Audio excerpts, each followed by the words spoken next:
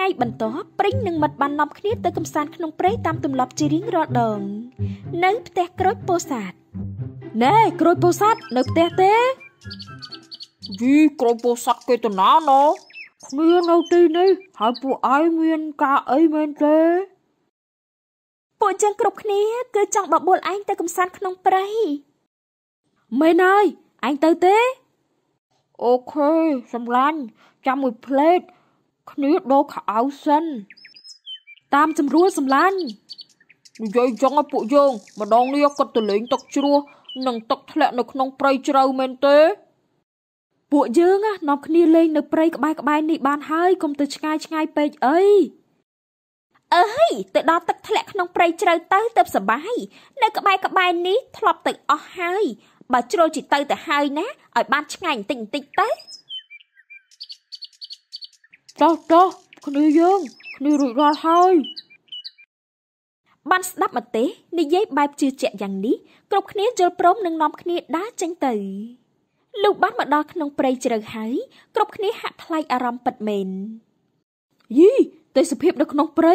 មានទឹកធ្លាក់ពិតជាស្រស់បំព្រងមែនមែនហើយស្វាយគ្នាមានអារម្មណ៍ថាប្លែកមែនទេ មានទឹកធ្លាក់ខ្យល់បក់រសៀករសៀកជាមួយសម្លេងធម្មជាតិឬសម្លេងសត្វយំអារម្មណ៍ស្រស់ស្រាយដល់ហើយនេះ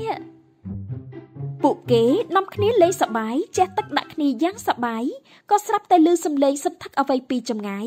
យ៉ាងខ្លាំងរង្គើដី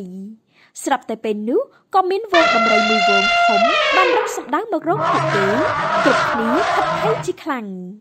ដំរីដំរីដំរីដំរីអូយដំរីដំរីដំរី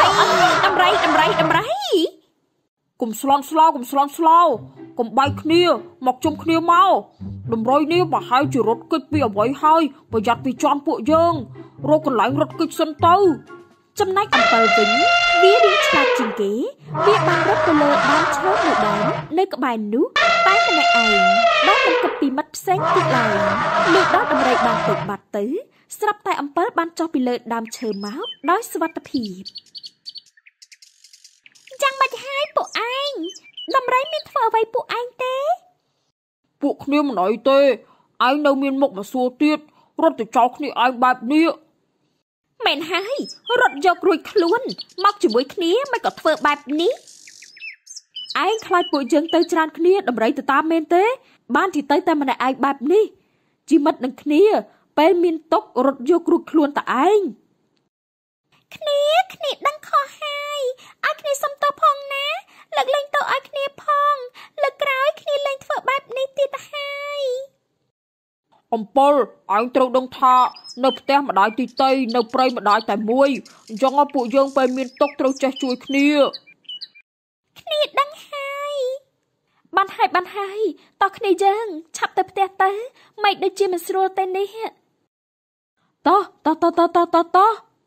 នៅផ្ទះម្ដាយទីតីនៅព្រៃម្ដាយតែមួយអញ្ចឹងពួកយើងពេលមានទុកត្រូវចេះជួយគ្នាទៅវិញទៅមកសូមរងចាំទស្សនាវគ្គបន្ត